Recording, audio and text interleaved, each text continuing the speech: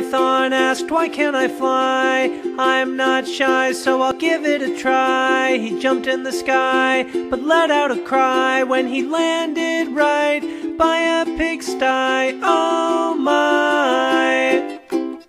Ryan Python asked, Why can't I fly? I'm not shy, so I'll give it a try. He jumped in the sky, but let out a cry when he landed right by a pigsty. Oh!